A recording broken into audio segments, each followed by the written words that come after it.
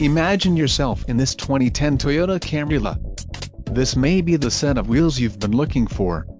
This vehicle comes with a reliable six-cylinder engine, connected to a smooth shifting automatic transmission.